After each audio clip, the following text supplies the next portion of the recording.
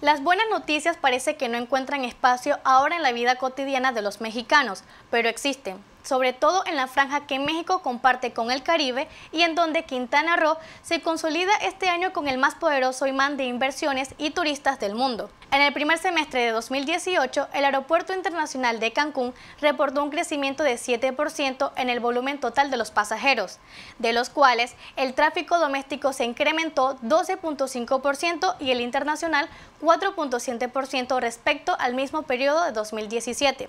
En comparación, a nivel nacional este crecimiento es menor al 3%. El aeropuerto de Cancún es el segundo con más pasajeros de México. Acaba de inaugurar su Terminal 4 y el ritmo de crecimiento de más de 2 millones de pasajeros adicionales cada año ha obligado al Grupo Aeroportuario del Sureste a incluir en su presupuesto la construcción de la Terminal 5 para este año o principios del próximo.